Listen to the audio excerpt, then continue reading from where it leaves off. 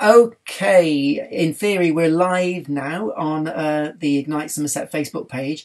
So um, uh, we're a few minutes early, actually. So um, in case people are going to tune in exactly at five o'clock, I'll just give it a couple of minutes. Oh, we're at five o'clock now, so we can start. So this is um, the Creative Network, which is a project that um, is curated by Ignite Somerset.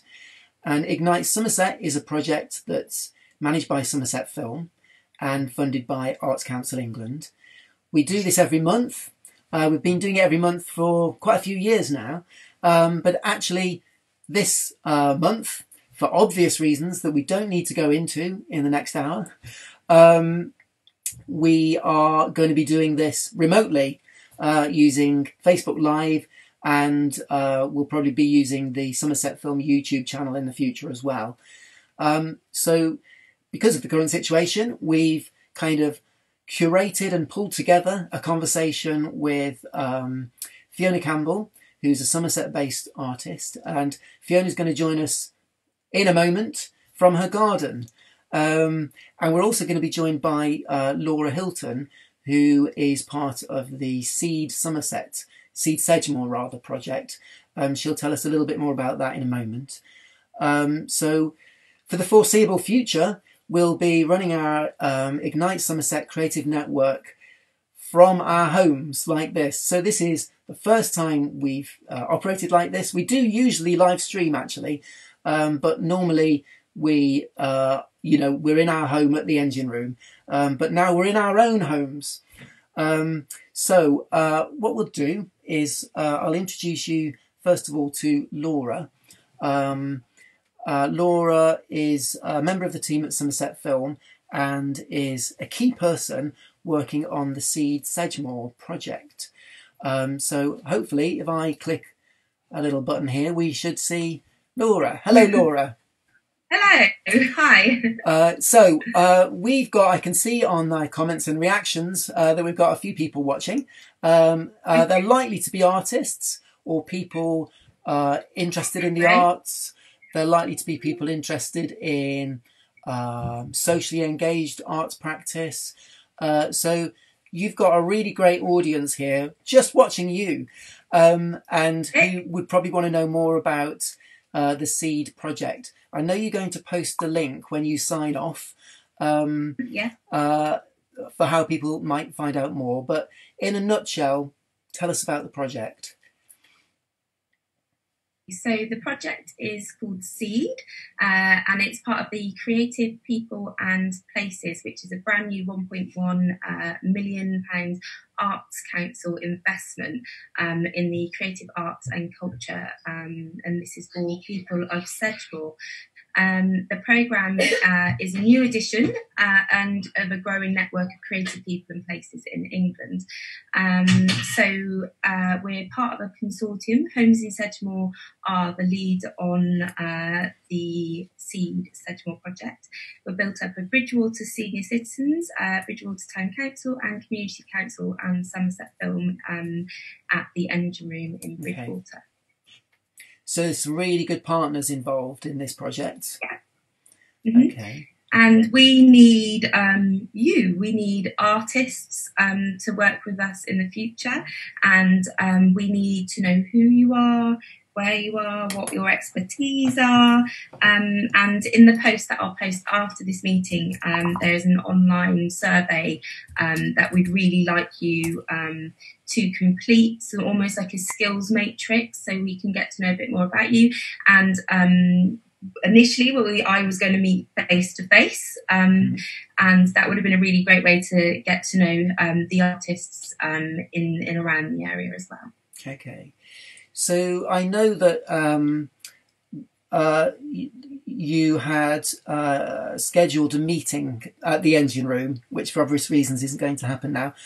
The purpose of that meeting was to uh, raise the profile of the project, obviously, and mm-hmm. to was the partly the purpose of that project to sort of do a bit of a skills audit and see what skills were in the room. Is this the social arts practice? Practice and Me, the creative yeah. professional development trade. Yeah. Yeah, so that was happening, um, and it was supposed to happen this Friday, and that was creative professional development training for artists. Um, or however you identify as an artist, Mhm. um, who would like to receive some um, professional development in training around working with members of the community in a more socially engaged um, way. And we had Rachel Dobbs, who was going to facilitate that session Mhm. um, at the end room, and that will still happen. Um, but obviously, um, with everything that's happening um, at the in the current climate, that will happen later on at a later date. So we'd still like to offer that to artists as well. Okay, so obviously there's great opportunities here for community groups to get involved, but actually, just thinking about the artists watching, there's professional development there as well. Yes, yes, there is, and and that's we. Uh, part of the um, seed project through creative people in places is a, is it well a big the main part of the project the mission is to work with members of the community um, and do consult work with them in, in terms of consultation and see what they want. When we don't know what they want until we've done some of that consultation. Yeah. and then we will respond to that and we would like to know um, who are the artists in the area. And a lot of the time we have amazing creative artists that maybe haven't done much facilitation or maybe they haven't worked in a um, community engaging way um, or maybe in a more socially engaging way as well. So that's why we'd like to offer training and support so we can get these really skilled creative talented artists um, hopefully working with on this project and with members of the community.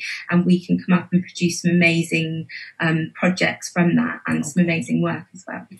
So obviously our creative network, we're doing like, hello, there's Fiona. Hello, Fiona. um, obviously, um, this creative network is different to previous creative networks in that, um, you know, we're, we're managing in it in a different way. We're operating from our homes.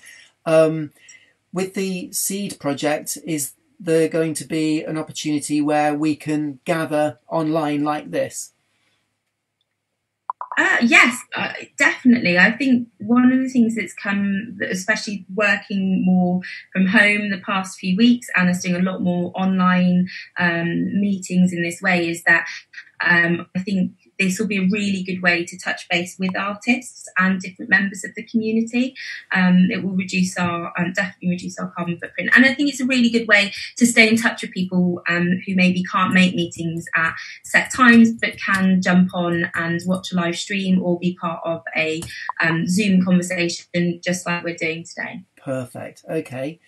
Um, that's really interesting. Thank you, Laura. Um, so when you're going to sign off in a minute, and because you've got lots of important seed stuff to get on with, um, and uh, you're going to post a link in the comments for this video.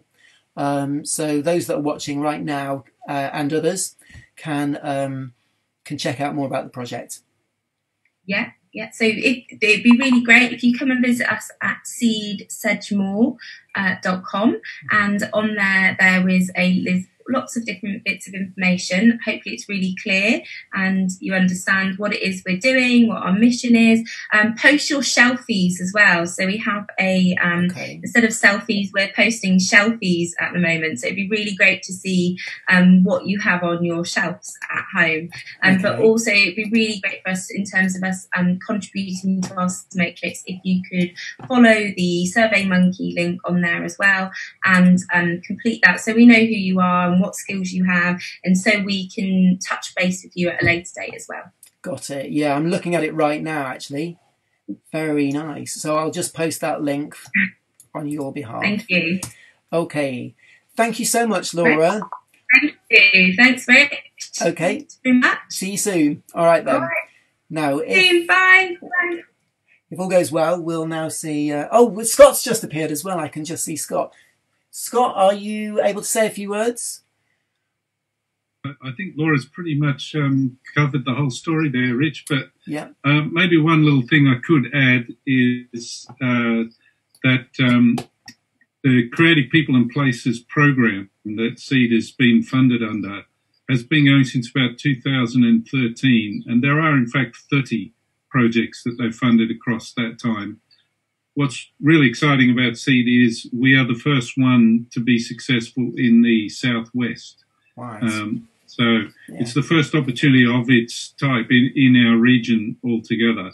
Uh, so we're really, really keen to engage with as many people as we can uh, and, and really set uh, a really good tone for the Southwest. And hopefully there will be future projects funded and supported in the area later on. That's great. That's a really insight. So um, this is the first in the southwest. Did you say it was the first in a rural uh, county? Um, no, there've been other rural ones. Okay. Um, there, there, there are quite a lot in London um, Okay. and quite a lot in the north. Okay. Um, so yeah, there's a good mixture, really, of rural and urban and suburban settings, but but we are quite literally the first one in, in the whole southwest. Fantastic. That's brilliant. It's great. Okay, I've put the link up, Scott. So um, Scott, you might just want to introduce yourself. Name's Scott O'Hara. I'm the director of Seed. Uh, I've been in the role now for six weeks. As you can probably tell from my voice, I'm originally from Australia, so I, I'm new to the southwest myself. I've been living here about 18 months. Okay, that's fantastic. Thank you, Scott. Um, it's strange. Where where are you at the moment? Where's your where's your virtual background?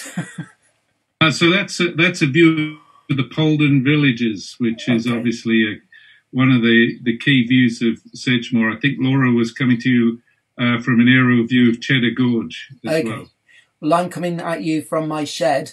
Um, what's interesting is we're we're seeing this beautiful scene behind you, and what we're hearing, if you listen carefully, is the birds in Fiona's garden because Fiona's broadcasting from her garden. So, thank you, um, uh, Scott. That's really good to see you and hear from you, and uh, look look forward to finding out more about it. No problem. Thanks for the invitation, Rich. Okay, see you soon. Right. Right. Uh, right then. So, Fiona. Uh, we need Scott to leave the room. Is he there? Uh, hello. Yeah, you're, we're we're back on track. Everything froze for us a split second um, as Scott was leaving the meeting. So, um, Fiona, we've known each other for some time, actually, haven't we? Um, I'll put myself back over here, I think. Okay. Um, yeah, when I first started on the working on the Ignite Somerset project, which was I think about seven years ago, um, Fiona, I think you were one of the first artists I met. I don't know if you realise that, but um, we made a film in your garden. I seem to remember. Really? Yeah, and we shot some filming. You've got um, you've got a little studio in the back there, and you you were busy welding all kinds of gear on. That was you, wasn't it? Yeah. You don't remember shooting the film? Oh, no, I, I remember a radio interview with you. Um, Yeah, we shot some film. Yeah, that was, that was. And no, I know you, you did some filming. I thought that was at the engine room, but God, my memory's terrible. Okay, so Fiona, you're in your garden. Yeah. I'm in my shed. All of the people uh, who are joining us uh, are in their homes, hopefully, and um, uh, we're going to make this as as regular a creative network as uh, as as we normally have, which which is usually uh, a little bit of a presentation from the artist, um, and we've already had a chat about um, some of your work, and you've sent me some images which I'll share with the uh, viewers right now.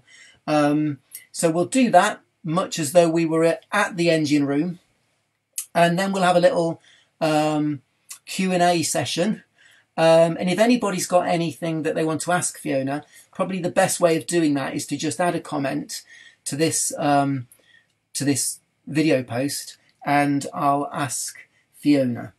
So um, shall shall we start by looking at some of your work? That would be good. Okay, so what I'm going to do is make you disappear for a moment, and hopefully you can see your work on your screen, Fiona. That's a very old piece. So shall I start? Uh, yeah, I'm going to put myself over here, down Are you?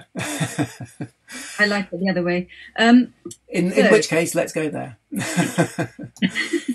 um, so I thought I'd take a journey way back to the 80s. Um, I don't think I've even shared this with, um, you know, with anyone really on my, it's not on my website. I don't think I've had it um, on any social media, but this is my um, final show at the Byam Shaw School of Art, um, 87, when I was interested in um, metamorphosis.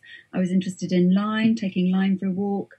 Um, and I was using all sorts of different materials, but they were kind of being transformed. And this was a bit like a sort of um, kind of then they were interacting basically. And I thought it was interesting because my more recent work has almost gone full circle to somewhere a little bit like that. It's obviously going to be very, it's very different. Um, but I thought I'd put that one in. Next, please. Okay some of the sorry, just to come back on uh, this particular image, um, uh, yeah, there's I can really see obvious connections to surrealist painting. Uh, I'm, I'm guessing that's going on there, yeah, that we're probably all familiar with. Uh, okay.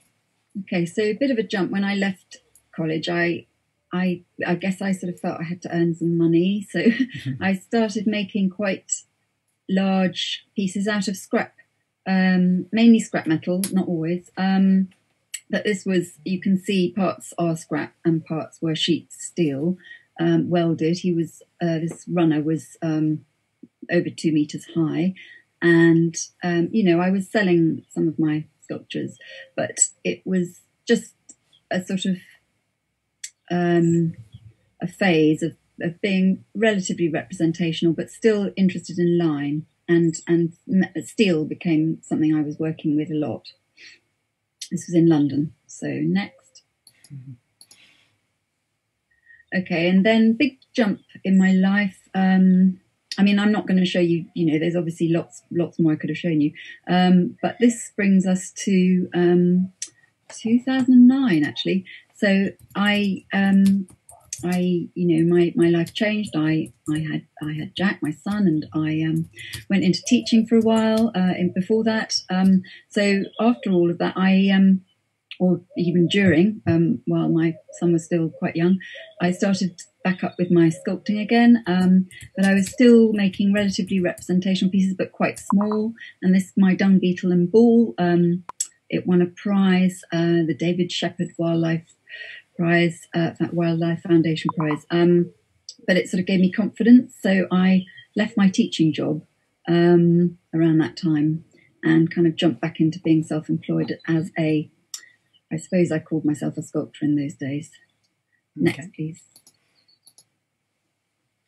So, um, and I was using um, mainly uh, copper. I was still interested in, in this one, particularly interested in lime and lots of weaving. Um, it was copper, but also um, uh, plastic netting is in there, um, and it's this is a cocoon that's um, kind of based on a on a on a butterfly cocoon. Um, Cloudless sulfur was the name of it, and you know these sculptures I was showing in in gardens, um, kind of exhibiting around the southwest um, and making, yeah, cocoons, nests, that sort of natural, organic kind of forms. Next, please. And then in 2010, um, I decided to create a, a, project for Glastonbury Festival um, for the Greenfield. So I kind of devised this sort of community project where I made the um, structure, the inner structure of this spider that was created in different segments, um, took it to Glastonbury, um, and then with the public who were invited just to sort of drop in, um, we all made this massive spider. So we collected all the dirt, all the you know refuse, the cans, and I also brought a load of sort of bottle tops and beads and buttons along. So um, the spider was decorated during that four four or five days. Hmm. Luckily, it was a very sunny festival, um, and then and since then the, the spider has t- toured all over the place um, and this is him in or it in um, uh, the Devon recycle the Devon uh, recycle sculpture trail in Teignmouth so um, he yeah he crouched there for a while and he, he went to all sorts of other venues, but he is now. Um, I've donated him to Carymoor Environmental Centre, so he's he's there permanently now. He's next.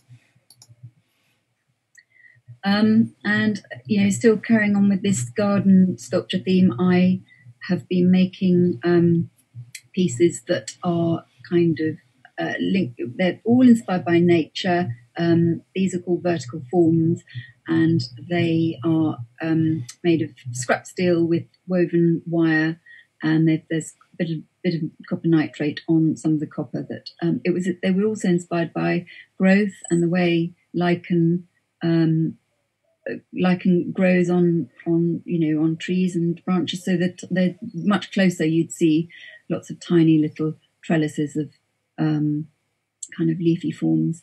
Mm. next please. Um, and back to the um, kind of community work. So i um, was I went to the Larmer Tree Festival with this uh, another structure, this sort of um, steel chameleon structure, and um, adults were invited to drop in and add um, bottle tops, and so we we we completely covered it. This uh, a friend of mine, Elaine, um, was there helping me, um, and we they covered it, and then it was it was put out as a site sculpture, and then next, please, next and that that's it in um, Stourhead um, for the uh, a sculpture trail I did with a group that I was a part of called the Scraptors, um, and we created a, a, sculpture trail around the the lakes um, sort of beyond the garden, beyond the sort of you know the cultivated gardens. And yeah, he crouched there on this massive, great big log. Um, but he has since again been um, exhibited in different places, and he is going to be featured in a, a thing I'm doing with um, Art UK called Masterpieces in Schools. So I'm going to be working with a school where they're going to make something. They're going to have this sculpture at their school for a day, and they're going to make something um, inspired by it. But you can see all this is inspired by by nature um, using scrap materials, which is something that I'm doing more and more now. So recycled, um, found, and you know discarded materials, often often metal, but not always. Next, please. Um, and oh, this was also part of the Scraptor sculpt, sculpture trail. So this heron um, we installed in the, a very steep, silty lake. So that was it was quite an adventure actually installing it. Um, and it's all made of different um, steel components that I've found. I, I, have a bit of a scrapyard in my garden, so I kind of collect all the time. Um, so some of these pieces I get from scrapyards, and some I find find on walks. Um, and it's all welded, and you can poss- maybe see on the face the pair of scissors on for its um, eye and beak. Mm. And that was yeah. So that was um, that was eventually sold. Next, please. Um, going still in the sort of figurative um, kind of mode. Um, I was um, a an artist in residence for the for Green. It was I was called a Green Capital Artist in Residence um, for Bristol's Green Week in um, I think it was 2012, um, and I made this. He was called Man. oh, I've forgotten that name. The name now. It's a very long name anyway. It's about um, man kind of um, it is comes from the earth, but earth is also related to heaven. Mm-hmm. Um, and he is steel, copper, um, and he's reaching for the kind of he's sort of a growing creature. He's not just a man. He's almost um, part of, of the earth. So there's he's a sort of he's not a green man, but he's that kind of thing. And there's this sense of line going through him and a sense of energy. Mm-hmm. Next, please. Um, that was the same project. I also um, created these diatoms, which are um, di- the diatoms are tiny microscopic sea creatures. Well, usually sea creatures that um, have the most amazing structure, and they've, they've got a sort of silica shell. So um, you know they've almost got they have they have actually got a kind of glass um, structure to them, and they look like a segment of a lemon or an orange. If you you know if you kind of can imagine those segments and the patterns in them. So um, these were floated on the Arnolfini Harbour um, for the for the duration of the Green Week Festival.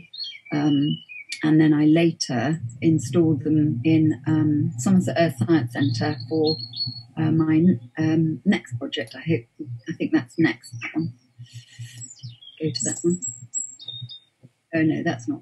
Okay, so this is uh, lichen, which um, actually I, I'd say was one of my big shifts in my practice. Um, it, it, prompted a bit of a change in my work, um, although it's still related. I mean, my work does relate to nature, um, but it became slightly more abstracted. This um, this was called the Abundance Garden Trail, and I was commissioned by Somerset Art Works along with um, seven other artists to install work in um, a particular garden we were designated, and I was designated this lovely garden called Esoterra, um, which to me was an idyllic setting. The owners were lovely, the um, animals, the creatures that all kind of roamed around freely. Um, it, it seemed to kind of give it this very utopian feeling. So, um, lichen, which grows, you know, lichen grows in places where there isn't any pollution, and so it's an indicator of um, you know pure air.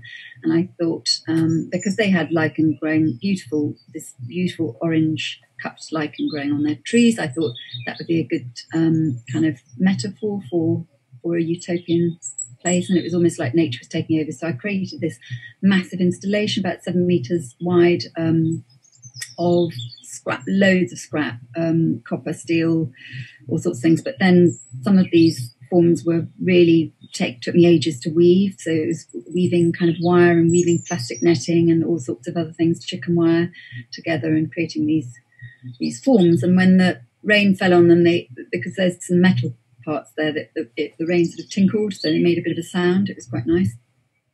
Next, please. And that was the same piece but reduced and re um, kind of repurposed or retransformed, reinstalled in a in an indoor setting at Sidcot Art Centre. Um, but I've since you you know create re kind of reshaped it, reformed it um, in different settings. So it's always slightly site responsive, but um, I quite like the idea that my work can be repurposed and reused. I've done that more and more and you can see there's parts uh, parts of it have got lead, parts of it are copper, nitrate, steel, copper piping, um, but also you know um, plastic and um, other found things. Next, please. Okay, so this is a project I curated in 2015 um, called Stepping Stone, and um, it took um, about a year to kind of formulate. Um, and it was basically a project that was um, installed in in quarries. So I I, um, I invited there were fourteen artists in total, um, and we um, created these artscapes in three quarries and three indoor um, spaces in the southwest in the Mendips and uh, we had I got Arts Council funding along with other funding. We did crowdfunding and all that sort of thing.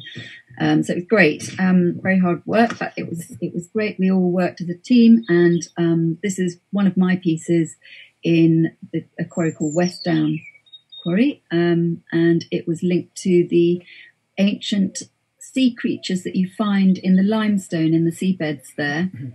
Um, which so that so that you know the, the, the sort of cliff faces are were the seabed, um, and um, you know you get all these wonderful fossils in them, and some of them are crinoids, which were um, they date back about 350 million years ago. Hope I've got my facts right. Um, and crinoids are like they're, they're sort of more um, common name is sea lily, and they are a creature, not a plant, um, and they crawl, they pull themselves along by their tentacles.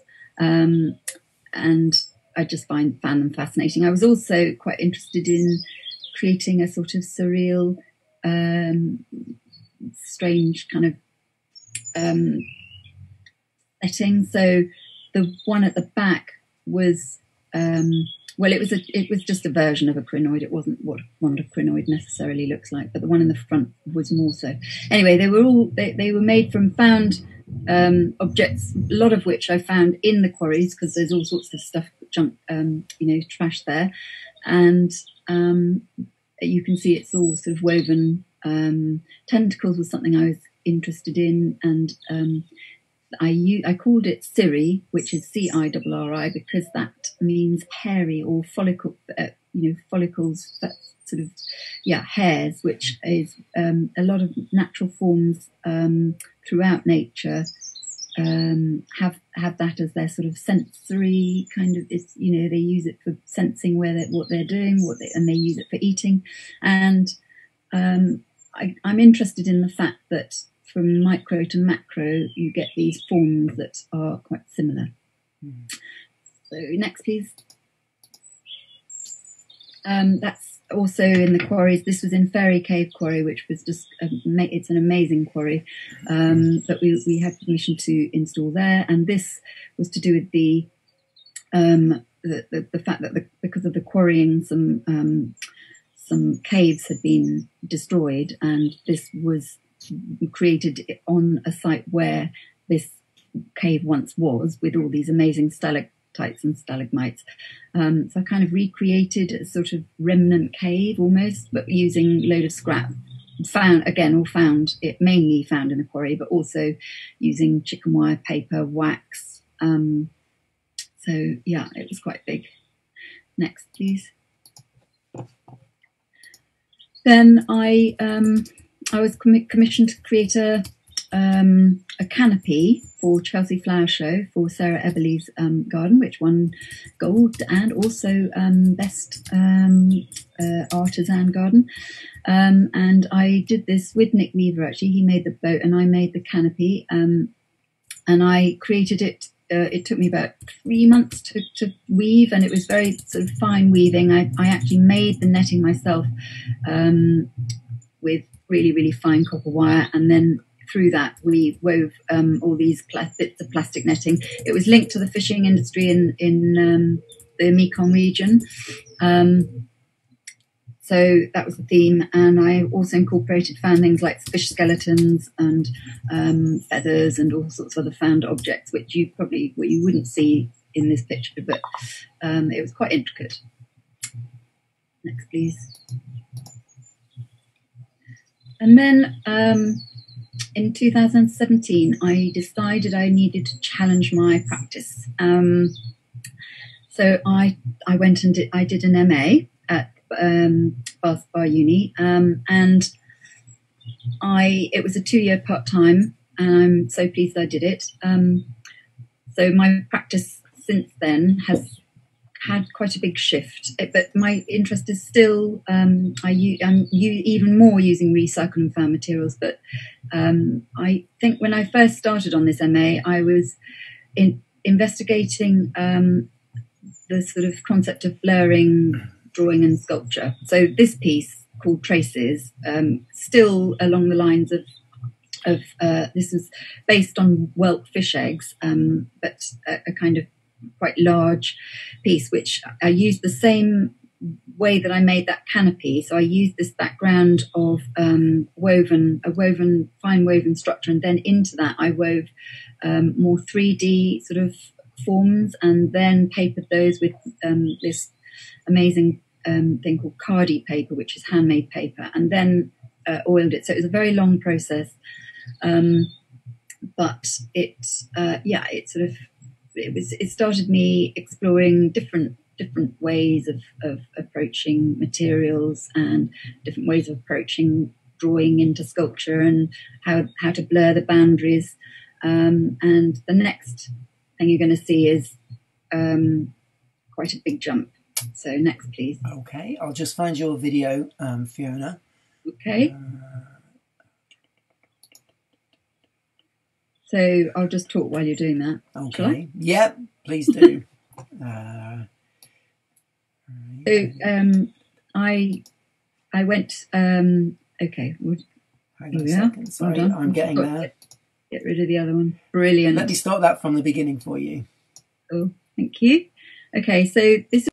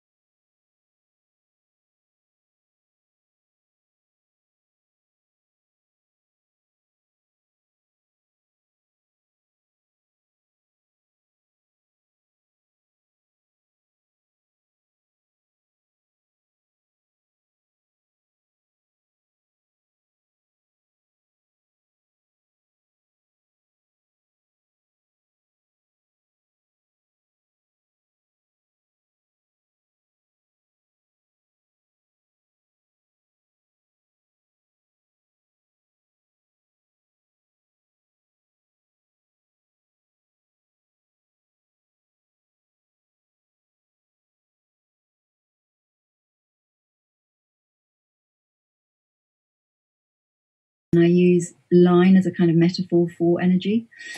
Um, anyway, so at uh, when was this? This was second year. This was um, in 2018. Um, I um, was selected to go and do this um, kind of workshop stroke exhibition in Italy, in Palermo, as part of Manifesta, uh, with a group of other people. So there was um, there were artists and architects and students all working together, um, and we and had ten days basically to um, come up with um, work that we either did sort of on our own or collaboratively, um, and then had an exhibition of that work. So it was quite challenging, very interesting. Um, and I, because of my interest in, um, you know, recycling and, and waste and that sort of thing, which was growing um, increasingly at that point, um, I decided to engage the public um, in this area called Danisinni, where we were based. And I got this funny little trolley. Uh, well, I, I, I actually it was it was kind of a found object really, but I had I paid someone, I paid someone ten euros or whatever it was um, for, to let me have it. Um, and then I found all these bits of string, and then this this um, bottle carrier, and I went around because there was so much rubbish in that area. Um, they they just dumped all their stuff on the side of the road, and actually people then could go and sort of rifle through the rubbish and there might be a bed there upturned, or there might, and there were loads of plastic bottles everywhere, empty plastic bottles. So I went around collecting plastic bottles, and the whole point about this project was it was um, about the we were investigating the Qanat system, which is um, these underwater aqueducts. And so my work had to link with water. And in Danisinni, they have these this um, they have a, um, an aqueduct up there. So I went and used, I took all these bottles and I filled them up at this um, little qanat at the source um, with this, you know, pure, well, it wasn't pure water because apparently dogs go in there and poo in there, but um, it, it comes from a pure source anyway, from the mountains. It was a gesture, basically. It was a gestural performative piece um, called Gift of Water, and um, the the girl with me on my on on the left is um, is one of the Italian architectural students who came with me and and translated for me. So I would go up to um, residents in Danisinni and um, ask them if they would like some water as a as a gesture of uh, and you know explained where the water comes from etc um, and it was to water their plants because the manifesta theme that year was um, planetary garden which was all about looking after our world and um, you know tending to it so it kind of had this sort of, sort of symbolic um, point to it anyway, so I, I it, was a, it this is just a still from the film because um, I wouldn't bore you with the film. It's quite a kind of monotonous film of me just traipsing around, collecting bottles, filling them up, and then going around to all the residents. But it was it's quite funny as well. Hmm. Um, anyway, so that was yes. Yeah, so that's, sounds that's, great. Okay, so this is the, my um, work of my final show at the MA, um, and I at that point had become very um, uh, emotionally involved with everything that's going on. Um, you know, I think probably towards the, at the beginning of that year, um, a whole load of stuff was sort of coming out, uh, you know, plastic oceans. Um, I was seeing all these images of, um, you know, albatross chicks with plastic bloated stomachs dying, and uh, just I was getting quite um, upset about the, world, really. Um, also, my dog died at the same time, um, or our dog, sorry, Tilly. So it was quite an unhappy time. And also, um, I was working at, uh, um, I work at Hauser & Wirth uh, as an invigilator sometimes, and um, I was invigilating a show called The Land We Live Live in the Land We Left Behind, and there was a film in there um, by Nikolaus Geyrhalter called Our Daily Bread um, showing, and um, it was in a very dark room, and this film has is a very cold, hard look at factory farming. Um, and of course, I knew about factory farming, but that film was a very, very sort of strong statement, which just really, really got to me. really, really did. Um, so I I became a vegetarian. I started making all this work um, sort of linked to factory farming, you know, our plastic oceans, the um, a sort of increasingly just terrible way us humans are imposing ourselves on nature, um, and that's really kind of where I'm where I'm going now. But that but that show um, the lot a lot of the content was about that really. Okay, next.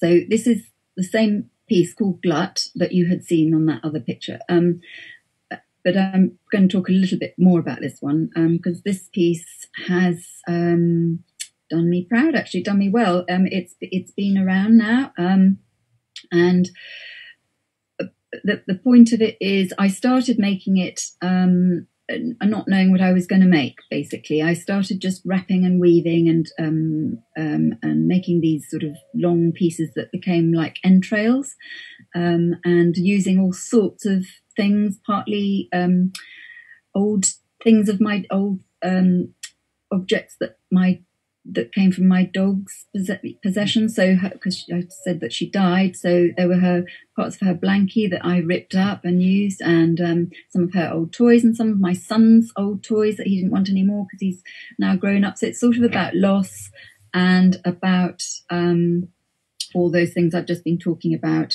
Um, and it, but it also has a sense of renewal about it because, as I said, I was interested in Cirri and tentacles and uh, the way, well, you know, life renews itself all the time. So you, we may we may have all this terrible stuff going on, but you know, there is that there is a sense of hope in it. Um, but they are essentially entrails.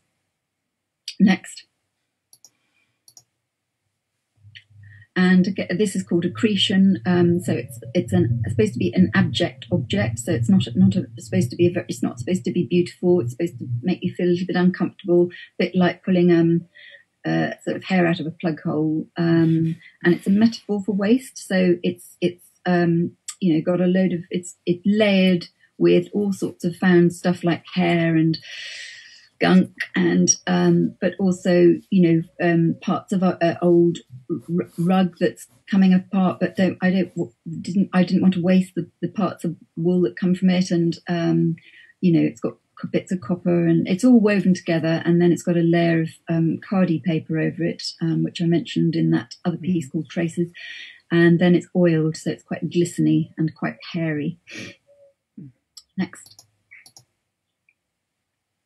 and then last year, this is 2020 now, um, I um, had a I, I had a residency at the cells in these Victorian cells at Tro- Trowbridge Town Hall Arts, and um, the work is site specific or site site responsive, site specific, I suppose, in a way. Um, although I have I have moved this work since.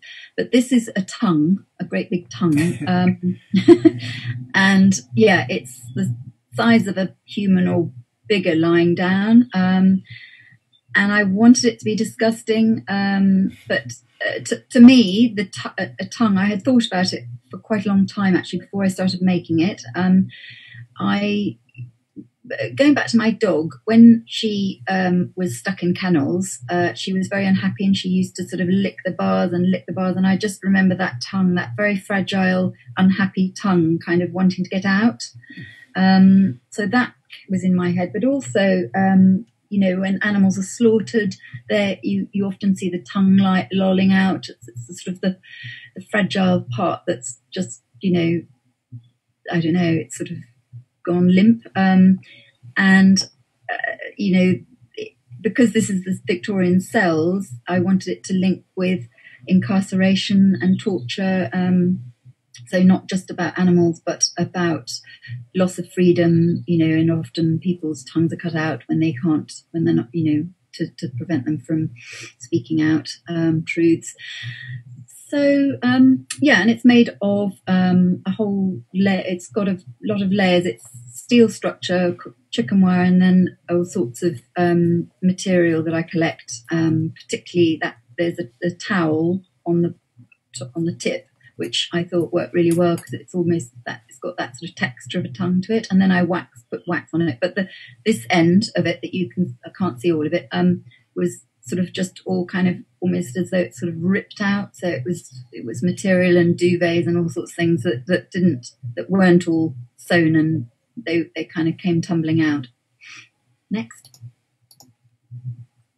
Um, and this is also part of that project. So I basically had a residency in the cells. They allowed me to do pretty much what I wanted in there. So it was just amazing. Um, it took me back to that um, that piece called Matter and Flux on my MA, where I could just go a bit crazy, just sort of make what I wanted to make and see what happens. So it's quite it was quite a nice way of just experimenting. And um, so I made these series of ladders with um, with the help of Nick Weaver, who um, helped me a lot technically.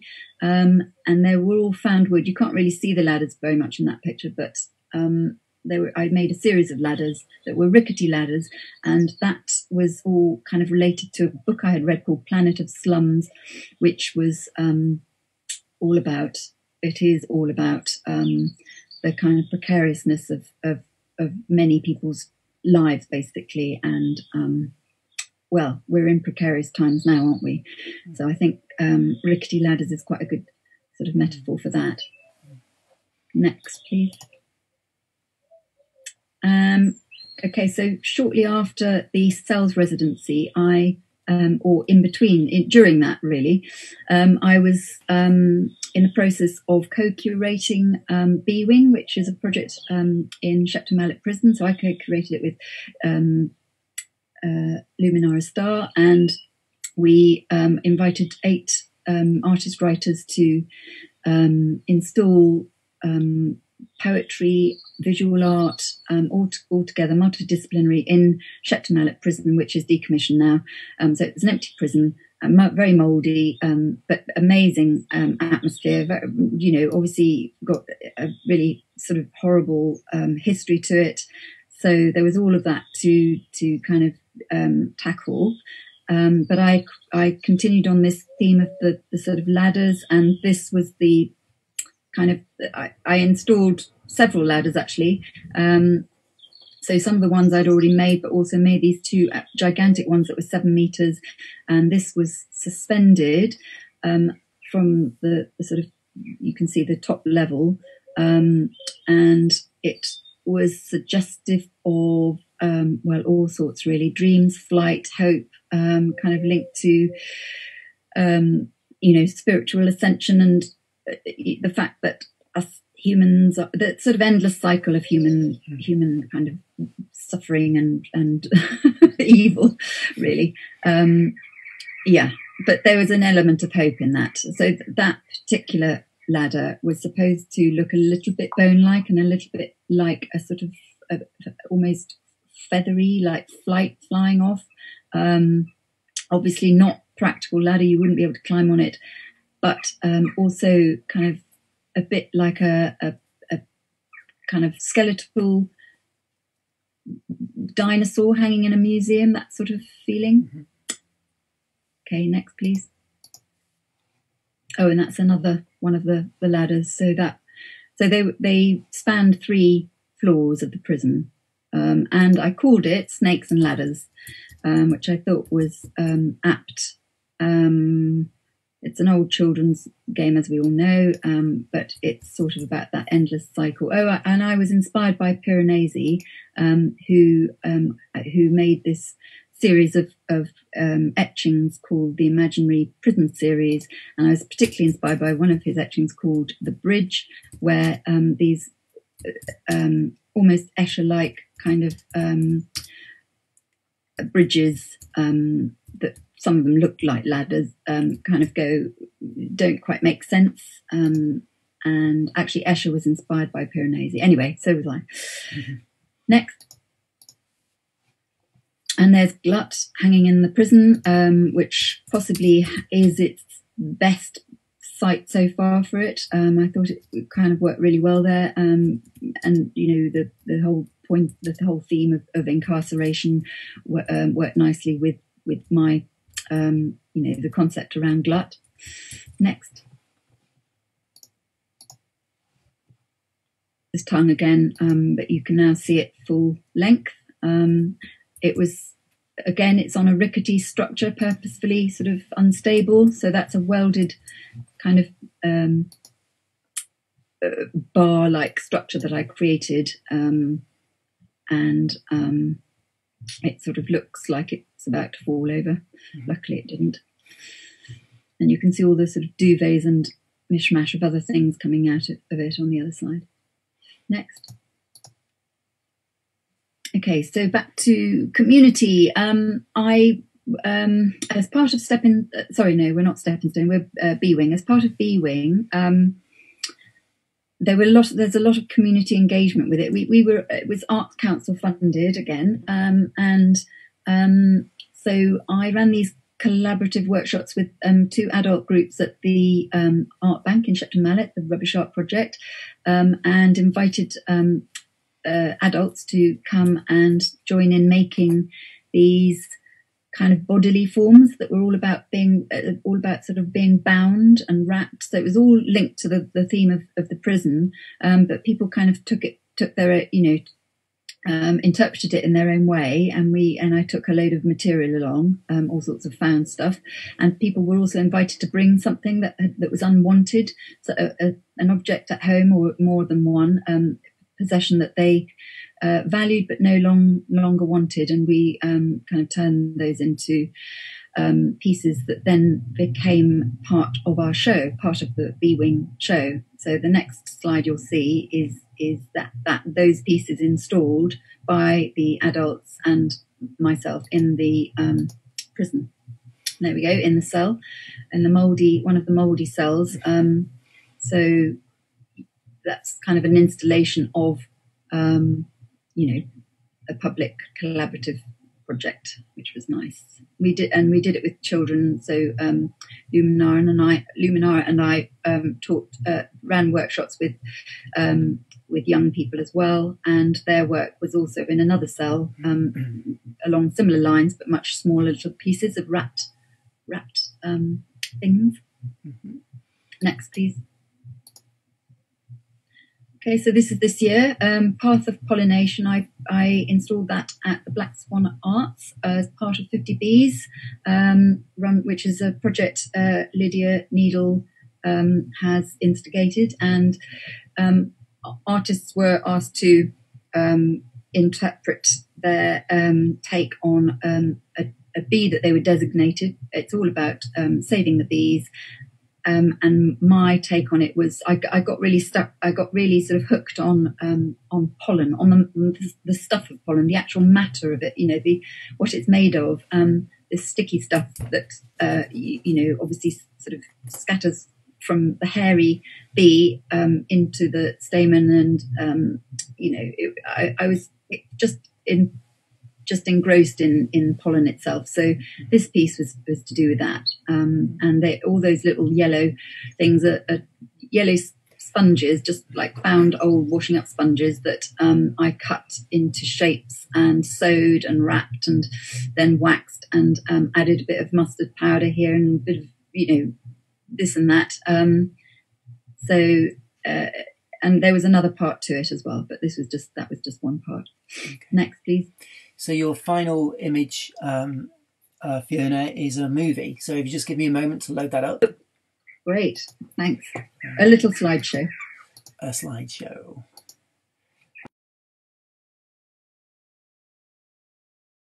Okay, so we're now present in the present, um, and this is called Pyre. Um, and I created this for an exhibition, which is an, a ghost exhibition, just because of um, you know, dare I say it, um, COVID nineteen. We um, couldn't have the exhibition open to the public, but what we did was we installed it, and we've been showing our work online. Um, so what it is is this it, Incendiary um, is the name of the exhibition, and it's about, um, well, my take on it was the wildfires, um, but um, it, it was it's really just about um, combustion and you know the, the, the, sort of the state of our world again. Um, but I was horrified, of course, like everybody else, with with the wildfires. Um, not just the Australian one, but the Amazon one. Um, and um, you know, it's all linked to climate breakdown, and I just could not believe the extent of it. Um, really got to me. Um, I decided to collect um, a load of objects um, or use loads of objects that I already had collected um, and char them. I wrapped them as little bundles, grief bundles, and charred each each bundle, and then put it together uh, like a sort of like a pyre, really. You know, the sort of um, burnt pile.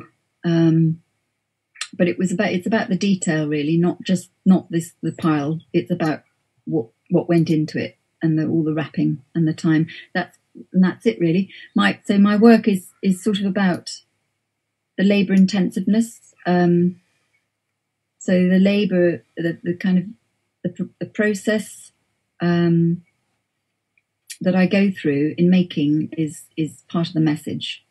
Mm. So there we go.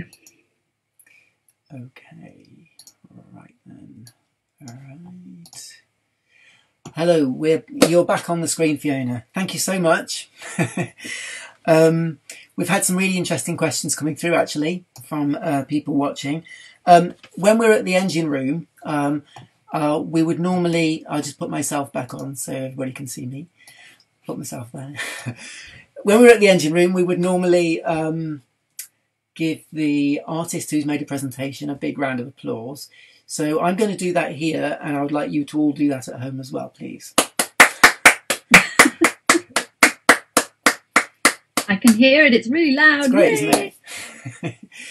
um, so, uh, one question that's come from the uh, one of the listeners and viewers rather uh, is Fiona planning to make more any more work on the subject of climate change? Oh, yes, but I'm not quite sure where what I'm. I mean, I'm I'm just making um, these sort of sewn pieces still, glut uh, like pieces. Um, so I'm I'm still on that trajectory. Um, but yes, definitely, I'm going to keep making stuff about that. Um, not quite sure exactly what I'll make next, and I might carry on with the glut and the pyre theme for bit longer because I think the pyre needed to be bigger. Mm. Uh, I hadn't had quite enough time to make a bigger pile, um, so I thought I could keep going with that for a bit while I'm my brain keeps you know moving.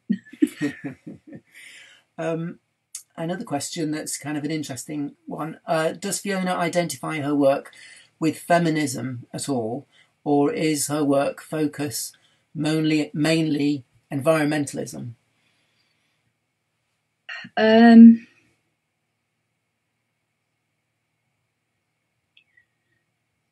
I guess more environmentalism, but um, increasingly I'm wanting um, I mean, I identify with female artists more than m- male artists. I think that just goes without. I think that just happens naturally. Um, you know, people like Eva Hesse, Louise Bourgeois, etc. Um, but I guess I couldn't. No, I can't say I'm a fem- feminist artist because it's not the the main thrust of my work. Mm. But um, you know, I'm a I'm a strident female artist. So uh, in that respect, you know, there's there's that sort of feminist angle to it. Mm. Um, we've got a question here. Uh, can Fiona talk at all about her process of exploring the ideas, perhaps before the final pieces are being made? Um, I usually um, have quite a long period of, of just writing and sketching in my sketchbook. So um, I will have, you know, make notes, think, um, collect objects. Sometimes an object will spark off something. Sometimes it, my idea will come from lots of research. If it's site responsive, I'll have um, done a lot of maybe online research and reading before I kind of make any decisions. Mm. Um, but there, it's a combination of sketching, thinking, writing, drawing. Uh, uh, have I said that? Drawing, sketching. Um, maybe even just a sort of splurgy collage that just kind of tries to get my loosen up my ideas. Sometimes that that's sparked off mm. work. Mm. Yeah, yeah, that's fantastic. And there's a really great little comment that's just come in. I've got a couple of questions I'd like to ask. Um, I visited, the, an artist has just uh, commented, I visited and really enjoyed both Stepping Stone and B Wing and deeply impressed by all the work to make those projects happen, getting those venues, publicity, etc. To me seems a major strength in your practice and wonder how important leading and curating projects is to you and whether you will do more of that. Thank you very much, by the way. Um, Thank you, Sulo. well, thanks, Sue. Um, yeah, I do see myself as a curator as well as an educator. So, artist, educator, and curator. And um, I do enjoy curating, but it does take up all my energy when I when it you know when the project's ongoing. Mm.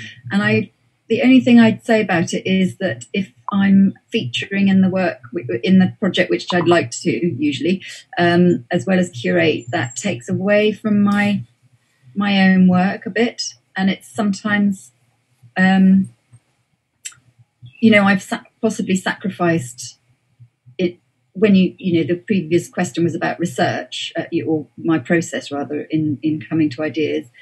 If i just had my own work to think about rather than a whole project as well um, possibly the work ideas might be stronger so I guess what I'd really like to do is um, just work in, in this solitary way that we're now put that we've now been placed um, on a kind of body of work for something like a solo and maybe not curate for a bit.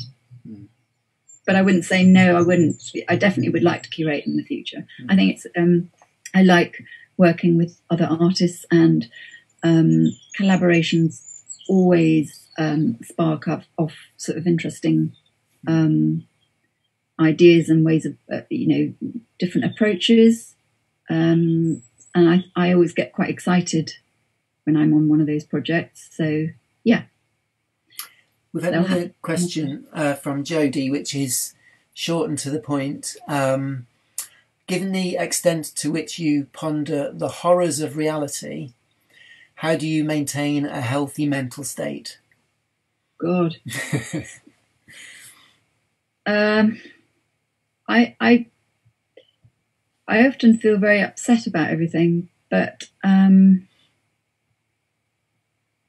I try to. I don't know. That's that's where my art comes. in. That's why I do art. I mean, it's it's my way of dealing with it. In fact, that piece, glut, I was literally uh, wrapping to heal. You know, it was it was sort of as I wrapped and sewed, and it was a sort of form of suturing. You know, like a kind of mending repair um, process, and I think that's how I deal with it. Um, I don't get really depressed, um, and I think I'm quite an optimistic person. So I guess um, everything I do is is in the hope that things will get better. You know, that we'll Yeah. improve our ways somehow. Well, you used that phrase earlier. Uh, your work's a metaphor for waste, um, but it's, I guess, it's a metaphor for lots of things, isn't it? Really, um, Hmm. your the production of your work is is that a cathartic thing? Is it going back Yeah. to Jodie's? You know, yeah, Particularly more recent, yeah, the, the more recent work definitely is. I've got some very noisy collared doves. it's fine. they sound great. Um, so uh, you describe your work as a form of artivism, Hmm. which is a phrase I've not heard before. So just tell tell me what that means. Okay. Um, so art and activism, it, it's a fusion of, of art and activism. So it's um, basically those two words together. Um, I'm not sure where I came across the term, but I really, I like it. Um, I think it's just like we were just saying, um, it's a way of, of tackling um, political, environmental, you know, all those sorts of um, issues. Um, not trying to solve anything because that's not necessarily going to happen through art, but it's a it's a way of maybe raising awareness. Um, so it's a kind, it is a sort of form of activism. Um, I've got a quote here. Olafur Eliasson, um, who created Ice Watch in 2018, he said, in order to create the massive behavioural change needed, we have to emotionalise that data. Um, so I think that um, if you make art that people can identify with emotionally, maybe um, you know you're you're you're helping a bit to for, because facts and sci- scientific facts. I mean, I, you know, maybe this coronavirus will do huge amount of good to us all. Um, but I, I think until it sort of hits you here, um, often it's quite hard to accept. So that's why there's so much denial in the world. And I think if we are, if we, you, I feel that if I, my art sort of has an emotional angle to it, it might have some good, you know? hmm Yeah. Yeah. Um, so your work um, blurs the boundaries between sculpture, drawing, installation art. So do you see yourself as uh, you're not going to pigeon yourself, pigeonhole yourself into being a particular artist with a particular kind of practice? You're, you, you know, you blur the boundaries, don't you? Yeah. Um, because I I think I'm more of a drawer. A draw. I don't want to put it say draftsman or draftswoman. Um, but I I draw in space, so um, it doesn't. I'm not. Um, I wouldn't necessarily say I'm a sculptor. Um, Hmm. Yeah, I like the idea of working in the expanded field where there's there's a sort of there's a there's kind of no edge between each one, and they they mingle because I think actually more and more now um, art's becoming more interdisciplinary anyway, and there's that sort of flux between different pra- pra- different disciplines, um, and it's much more interesting. I don't really see why there has to be those sort of separate categories. I know we like to categorize, so Yeah. uh, it's easier sometimes if I just say I'm a sculptor. Uh, so, yeah. Yeah. What was it? Uh, I've just had an email. um, and uh, you uh, you mentioned that everything in life is in essence biological, um, which is a quote um, from Le Corbusier. You mentioned that on your website. So, um, what do you? What's your understanding of that statement, and how, how do you align yourself with that statement? I see that to mean that um, everything, everything, all matter um, is from nature. You know, originates in nature, um, and I know that man intervenes um, through all sorts of chemical processes to change some of them, um, you know, for industry, etc. So that's where we get plastic. But you know, if you think of limestone, for example, that makes uh, that paves the streets in London, that comes from diatoms that are crushed, um, you know, over you know millions of years. So um, my point is that I I use industrial and organic materials, um, or what we call organic and industrial. But my but but in order to be sustainable, I I tend to try I try to use found and recycled. So even though I might use I mo- I use most materials basically, but try not to use anything that's toxic or um, I try not to go buy stuff in the shops actually, mainly financially, but also I just think there's so much stuff around that we can use. Um, and yeah, I enjoy the idea of finding. So it was more about the the fact that um, I don't see that there's a distinction. Although if you if you just pick up something, a, a stick, um, and that becomes your artwork, that that is clearly more natural than something you know made of resin or something. But um, but there's lots of grey areas in between, aren't there? Okay. Um, so we'll we'll wrap it up in a minute, Fiona. Um, Okay. I'll just ask you one more question, I think. Um, so uh, your you work uh, part of your practice is about community engagement, um, the wire workshops and so on that you you run. Um, so would you describe yourself as a socially engaged artist, and what does socially engaged mean to you? Um, I I taught for a while for, for several years, so I think that's where it all came from for me to to to want to um, share my my practice with other people, um, and so I, I'm quite interested in creating projects that um, open up art to people that wouldn't non-art, you know, non-art people, people who wouldn't normally um, go to those venues. For example, like the prison, um, that was uh, it, it attracted a different audience just because of the site. Um, so, in terms of socially engaged, I mean, I, I work, you know, I, I lead workshops and do community work uh, a lot because I'm interested in um, sharing the message, sharing my skills. Um, that's that's what I think is socially engaged in in terms of my practice. I mean, there's obviously lots of different um, ways. So that's yeah. Brilliant. Thank you so much, uh, Fiona. Um, I'm sure everybody uh, is uh, found that really interesting. And um, normally at the Creative Network at this stage, we'd go into the wonderful engine room cafe and have a nice, wonderful cup of tea. Uh, but you're going to have to do that in your own kitchens, I'm afraid. So uh, thanks, Fiona. Uh, if you'd all like to go and make yourself a cup of tea now, um, and I'm guessing we'll be uh, running a similar kind of um, creative network next month. We'll have to wait and see. so uh, watch this space. But I think, um, you know, just to say that if uh, you're an artist, you've been watching this and you'd like to, um, you know, uh, have a focus on your work at the Creative Network, then um, just um, send me a comment or contact me at richard at somersetfilm.com.